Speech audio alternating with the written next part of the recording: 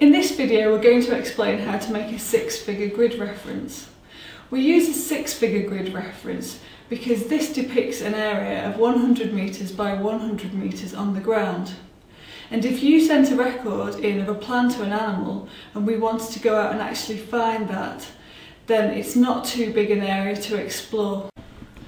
The British National Grid System is a series of geographic references which is different from longitude and latitude. It's devised by the Ordnance Survey and is different from the Irish Grid Reference System which is used in Ireland and Northern Ireland. These are examples of Ordnance Survey maps which use the British National Grid System and we will look at this in more detail a little later. Let's have a look now at this overview map of the British National Grid. To gain the first letter of the grid reference, the grid is divided into squares of size 500 kilometres by 500 kilometres.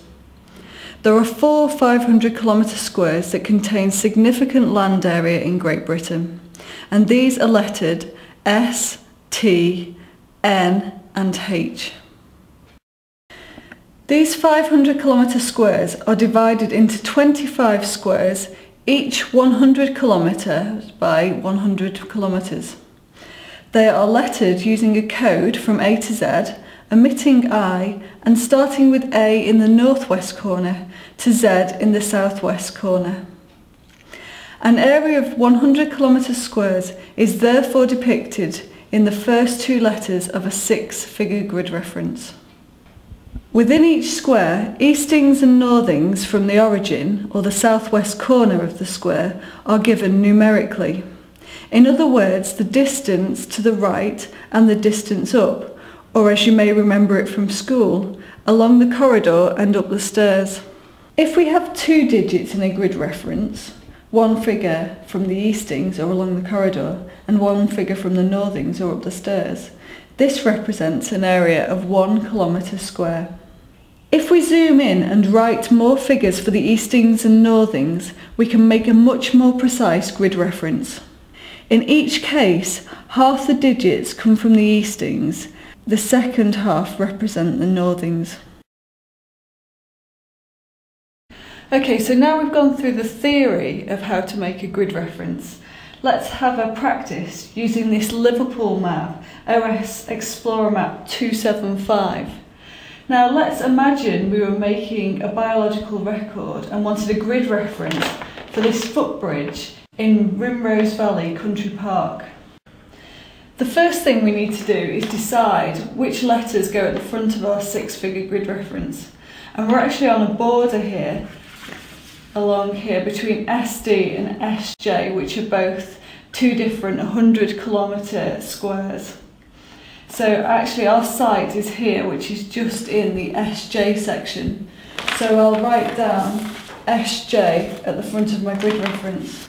OS maps are really useful because they're already split into one kilometre squares by these fine blue lines. At the end of the lines and along the perimeter of the map, there are numbers that are associated with the lines.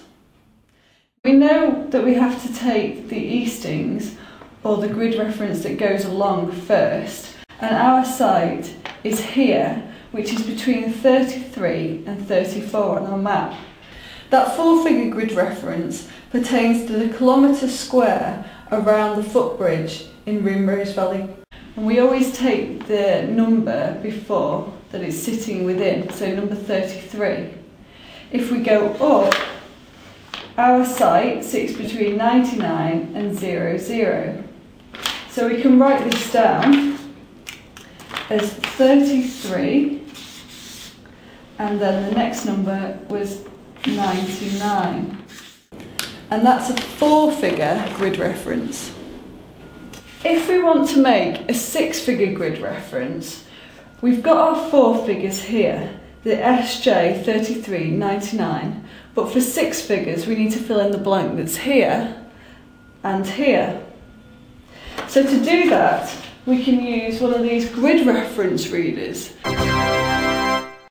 So if we overlay it onto our kilometre square that we've already identified, we now can read along the bottom again, and I can see that my footbridge is within number five along the bottom and number 4 going up the side. So I can put a 5 in here and a 4 going up the side there. And there we have it, a six figure grid reference for our site.